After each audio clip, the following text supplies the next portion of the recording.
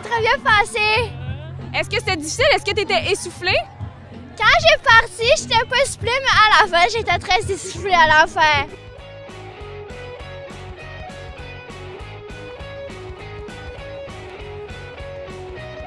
Ça représente beaucoup. C'est vraiment des, un entraînement qu'ils ont fait depuis le début de l'année. Et là, ils arrivent à l'accomplissement. Ils sont super fiers.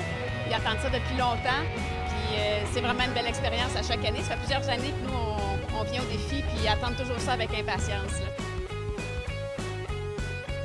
Moi, j'ai trois enfants qui sont en parfaite santé. Euh, moi, je suis en parfaite santé. Je cours, je m'entraîne.